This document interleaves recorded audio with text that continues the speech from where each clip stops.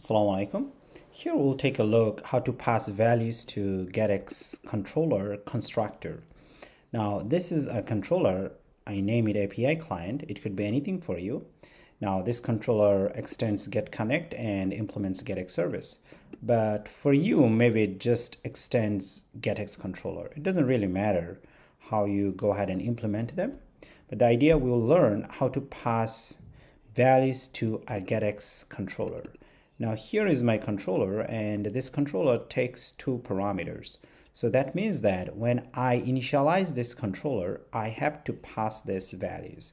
Or when I inject the controller first time, I have to pass values for these parameters, okay?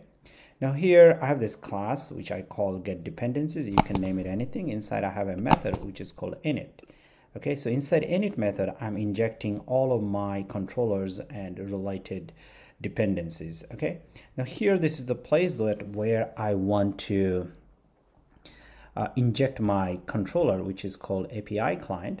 So how to inject and pass the constructor value. So here I have called the class which is called API client. Of course this is our controller once again this is the controller.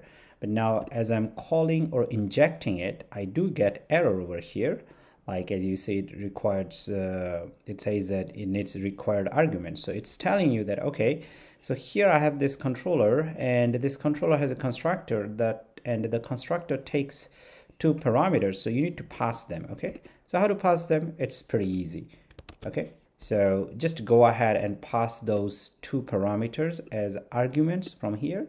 So in your case it could be any controller and the constructor value could be anything okay so just go ahead and pass them like this. Make sure before you pass them your arguments they have values okay? All right so if you have a controller and they take values so just pass them using named parameter as i'm doing over here okay? Hopefully it was helpful. Thank you so much